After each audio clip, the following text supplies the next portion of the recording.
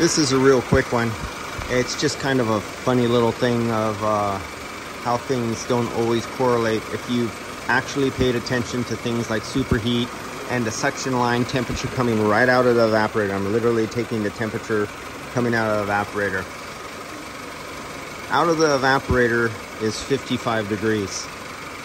And there's no sun load because we're inside a building and it's only like 65, 68 degrees outside. But even though, okay, 52 degrees, the compressor just cut off right now, but it's actually coming out of the dash at 36 degrees out of the dash right now.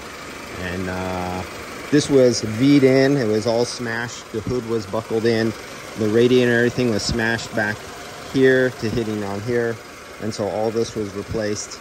Uh, said when it came in and everything was held together by wires like this. Was holding everything together. And um, so this was a, a fast cash job. And uh, but yeah, 37, 36 degrees out of the dash for an old Toyota. These old Toyotas, they go forever. You get 400,000 miles out of them easy. All right, that's all this is.